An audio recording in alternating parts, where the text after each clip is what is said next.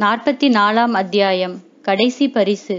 எல்லையற்ற அந்தகார சமுத்திரத்தின் கர்ப்பத்திலிருந்து மோனக்கடலின் அடிவாரத்திலிருந்து சிவகாமி மெதுவாக மேலே வந்து கொண்டிருந்தாள்.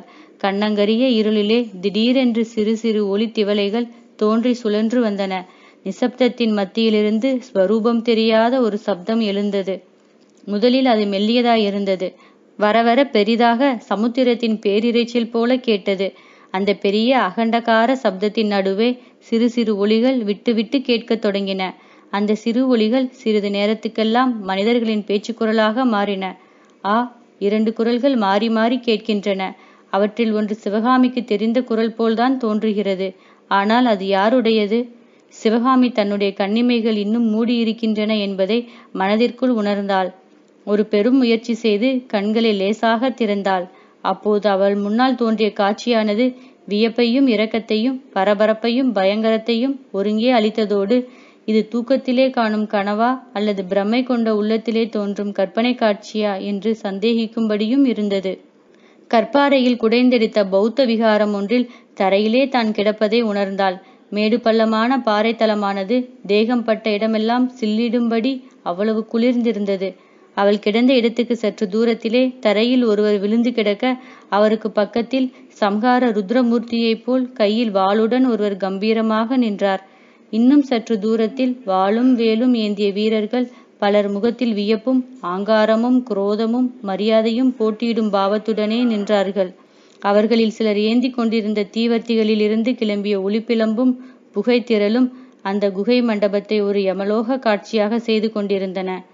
பிரம்மாண்டமான சிலை வடிவில் யோக நிஷ்டையில் அமர்ந்திருந்த பகவான் கண்ணாலே பார்த்து புன்னகை பொறிந்து கொண்டிருந்தார். சிவகாமி தனக்கு முன் தோன்றியதெல்லாம் கனவா பிரம்மையா அல்லது உண்மை காட்சிதானா என்ற சந்தேகத்தை நிவர்த்தி செய்து கொள்வதற்காக ஒரு தடவை கண்ணை மூடி மறுபடியும் திறந்தாள். உண்மை காட்சிதான் என்று அறிந்து கொண்டாள். கொஞ்சம் கொஞ்சமாக அறிவு தெளிவடைந்தது.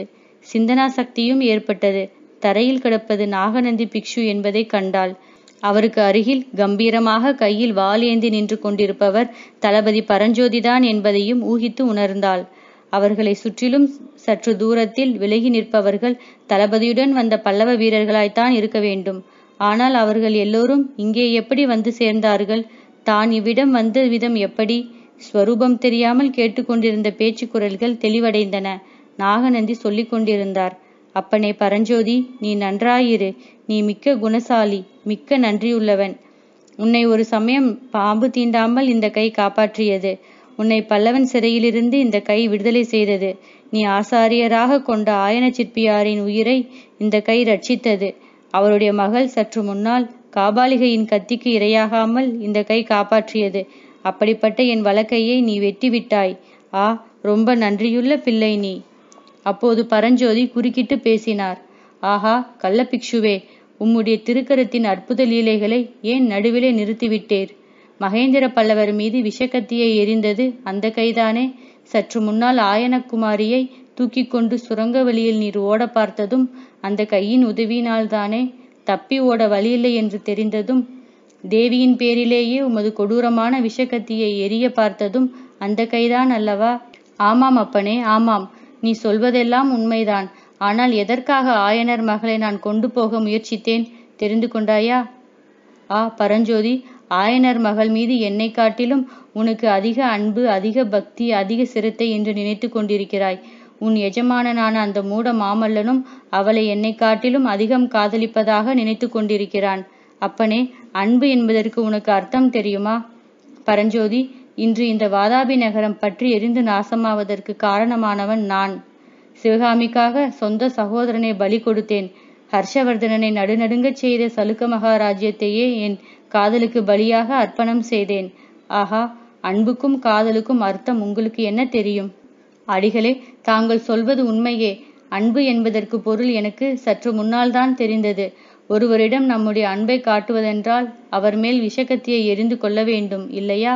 இதை சற்று முன்னால் நான் தெரிந்து கொண்டேன். வஞ்சக பிக்ஷுவே உம்மிடம் பேசிக்கொண்டிருக்க எனக்கு நேரமில்லை. உம்முடைய வேஷத்தை மட்டும் கலைக்காமல் நீர் ராஜரீக உடை தரித்திருந்தால் இத்தனை நேரம் உம்மை பரலோகம் அனுப்பியிருப்பேன். காவி வஸ்திரம் தரித்த பிக்ஷுவை கொல்ல மனம் வரவில்லை. ஒரே ஒரு நிபந்தனையின் பேரில் உம்மை கொல்லாமல் விடுகிறேன். பத்து வருஷத்துக்கு முன்னால் அஜந்தா வர்ண ரகசியத்தை அறிந்து வருவதற்காக ஆயனர் என்னை அனுப்பினார். நானும் அப்படியே செய்வதாக வாக்களித்து கிளம்பினேன். அஜந்தா வர்ணத்தின் ரகசியம் உமக்கு அவசியம் தெரிந்திருக்க வேண்டும். இதோ இந்த சுரங்க விகாரத்தின் சுவர்களிலே கூட வர்ண சத்திரங்களை காண்கிறோம். உமக்கு கட்டாயம் அந்த ரகசியம் தெரிந்துதான் இருக்க வேண்டும். அதை உடனே சொன்னீரானால் உம்மை உயிரோடு விடுகிறேன். இல்லாவிட்டால் உமது இஷ்ட தெய்வத்தை உம்மை போன்ற கிராதகனுக்கு தெய்வம் என்பதாக ஒன்று இருந்தால் அந்த தெய்வத்தை பிரார்த்தனை செய்து கொள்ளும். அப்பனே உன்னுடைய கருணைக்காக மிக்க வந்தனம். என் இஷ்ட தெய்வம் ஒன்றே ஒன்றுதான் அது சிவகாமிதான். அந்த தெய்வத்தை பிரார்த்தித்துக் கொள்கிறேன். ஆயனரையும் அவர் மகளையும் அஜந்தாவுக்கே அழைத்து போய் அலியாவர்ண ரகசியத்தை நேரிலேயே காட்டி கொடுக்க வேண்டும் என்று எண்ணியிருந்தேன். அது எனக்கு கொடுத்து வைக்கவில்லை அவர்களும் கொடுத்து வைக்கவில்லை. அந்த அற்புதமான ரகசியத்திற்கு உலகத்தில் வேறு யாரும் கற்பனை செய்ய முடியாத ரகசியத்திற்கு என்னுடைய உயிரை ஈடாக வைத்தாயே நீ நன்றாக இருக்க வேண்டும். சொல்லுகிறேன் கேள். மரஞ்செடி கொடிகளின் இலை வேர் காய் விதை முதலிய தாவரப் பொருட்களை சாறு பிழிந்து காய்ச்சி சாதாரணமாக வர்ணங்கள் குலைப்பது வழக்கம். தாவரப் பொருட்கள் காய்ந்து உலர்ந்து அழிந்து போகக்கூடியவை. ஆகையால் அவற்றிலிருந்து உண்டாக்கப்படும் வர்ணங்களும் சீக்கிரத்தில் மங்கி அழிந்து விடுகின்றன. ஆனால் மலைகளிலும் பாறைகளிலும் சிற்சில பகுதிகள் இயற்கை வர்ணம் பெற்று விளங்குகின்றன. இந்த வர்ணங்கள் காற்றுக்கும் வெயிலுக்கும் மழைக்கும் மங்குவதில்லை அழிவதில்லை.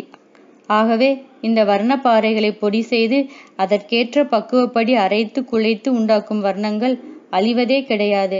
இம்மாதிரி வர்ணப்பாறைகளை பொடித்து குழைத்து வர்ணங்களை கொடுத்துதான் அஜந்தாவில் சித்திரங்கள் தீட்டப்பட்டிருக்கின்றன. பரஞ்சோதி சென்ற ஐநூறு வருஷ காலமாக அஜந்தா சங்கிராமத்தை சேர்ந்த பிக்ஷுக்களை தவிர வேறு யாரும் அறியாத பரம ரகசியத்தை உனக்கு நான் சொல்லிவிட்டேன். இனி நான் போகலாமல்லவா? அடிகளே உடனே போய்விடுங்கள். அடுத்த நிமிஷம் என் மனம் மாறினாலும் மாறிவிடும். சிவகாமி தேவியுடன் நீர் ஓடிப்போக எத்தனித்த கள்ளச்சுரங்க வழியாகவே இப்போது போய்விடுங்கள். சீக்கிரம் சீக்கிரம். நாகநந்தி மிக்க பிரயாசையுடன் எழுந்திருந்தார். வெட்டுப்பட்ட தம்முடைய வலக்கையை இன்னொரு கையினால் தூக்கி பிடித்து கொண்டு நின்றார். பரஞ்சோதி நீ நல்ல பிள்ளை. நான் உயிர் தப்ப விட்டுவிட்டாய்.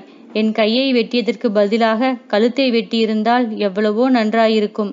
ஆனால் இன்னும் உயிர் மேல் ஆசை விடவில்லை.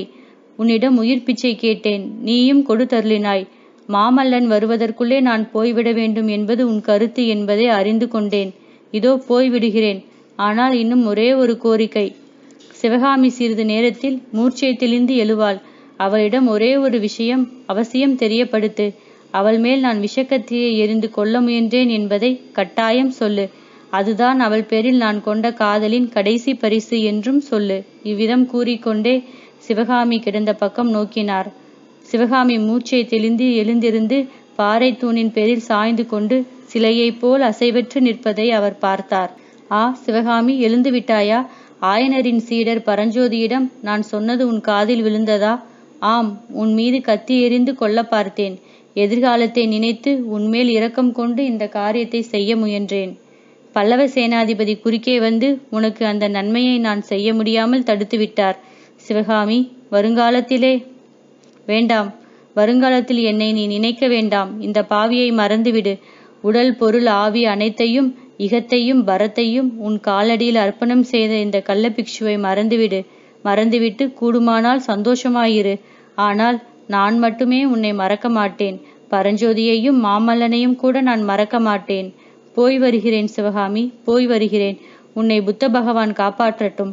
இவ்விதம் பேசிக்கொண்டே தள்ளாடி தள்ளாடி நடந்து நாகநந்தி பிக்ஷு புத்த பகவானுடைய சிலைக்கு பின்னால் மறைந்தார்.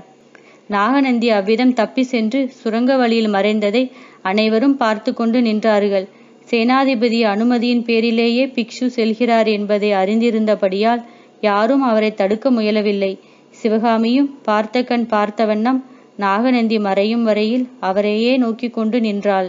சற்று முன்னால் காபாலிகையின் கத்திக்கு இரையாகாமல் அவர் தன்னை காப்பாற்றிய போது அவர் புலிகேசி சக்கரவர்த்தியா அல்லது நாகநந்தி பிக்ஷுவா என்று ஐயமுற்றாள்.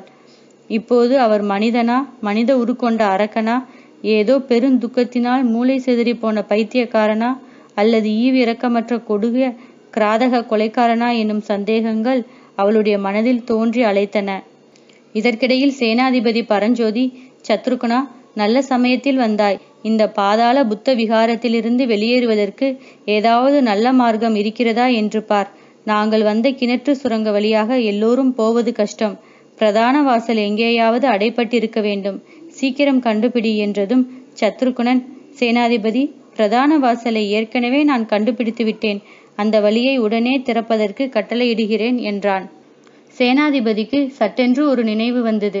சத்ருக்னா குண்டோதரன் எங்கே என்று கேட்டார். ஆ சேனாதிபதி என் அருமை சீடர்களில் அருமை சீடன் காபாலிகையின் கத்திக்கு இரையாகிவிட்டான் அந்த ராட்சசியை குண குகையில் காணாமல் சுரங்க வழியிலே தேடிக்கொண்டு வந்தோம். தாங்கள் அந்த சண்டாளியை பார்த்தீர்களா என்று சத்ருகுணன் கேட்க பார்த்தேன் சத்ருகுணா கண்ணனும் காபாலிகையும் பக்கத்து வீட்டிலே செத்து கிடக்கிறார்கள். கண்ணன் எப்படி செத்தான் என்பது தெரியவில்லை. அவ்விடம் போய் பார்க்க வேண்டும் என்றார். பரஞ்சோதி இவ்விதம் சொல்லிக்கொண்டே தூணின் மேல் சாய்ந்து நின்று கொண்டிருந்த சிவகாமியின் அருகிலே சென்று பக்தியுடன் வணங்கினார். அம்மணி எல்லாவற்றையும் பார்த்து கொண்டும் கேட்டுக்கொண்டும் இருந்தீர்கள். ஏகாம்பரர் அருளால் எல்லா அபாயமும் தீர்ந்தது. ஒன்பது வருஷத்திற்கு பிறகு தங்களை மறுபடியும் உயிருடன் பார்க்க முடிந்தது. சிறிது நேரம் உட்கார்ந்து இலைப்பாருங்கள் இந்த குகையின் வாசல் திறந்ததும் வெளியேறலாம். தங்கள் தந்தையும் சக்கரவர்த்தியும் கோட்டைக்கு வெளியே காத்து கொண்டிருக்கிறார்கள் என்றார். சிவகாமி துக்கம் நெஞ்சை அடைக்க நா தழுத்தழுக்க தளபதி போவதற்கு முன்னால் எனக்கு கமலையின் கணவனை மறுபடியும் பார்க்க வேண்டும். என்னை அந்த வீட்டுக்கு அழைத்து போங்கள் என்றாள். அதே சமயத்தில் அடைக்கப்பட்டிருந்த அந்த புத்த விகாரத்தின் பிரதான வாசலை பல்லவ வீரர்கள் படார் படார் என்று இடித்து தள்ளி கொண்டிருந்தார்கள். நாற்பத்தி நான்காம் அத்தியாயம் முடிந்தது.